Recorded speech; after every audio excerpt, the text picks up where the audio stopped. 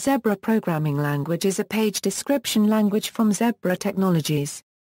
It is used primarily for labeling applications. The original ZPL was advanced to ZPL2, but a full compatibility with the older version is not given. Meanwhile, ZPL2 is emulated by many label printers of various producers. Later, the Zebra Basic Interpreter was integrated into printer software, which is seen as an advancement to ZPL2 by the producer and is ANSI Basic-oriented.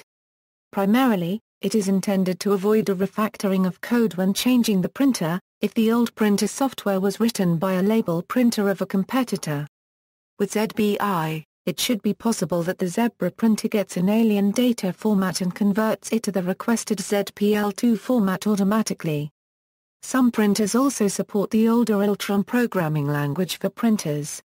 Commands The language commands always start with a caret sign. Currently, more than 170 commands exist in ZPL2. Each format has to start with the command XA and end with XZ. For instance, the font size is sent to the printer with the ADN, N, M command, where N and M are integers. ADN, 18, 10 is the smallest size and ADN, 180,100 the largest. Equals example equals.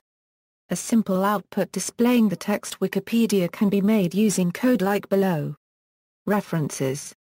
External links, Programming Guide, ZPL2 Programming Guide, ZPL2 Programming Guide, ZPLViewer, Online ZPL Emulator.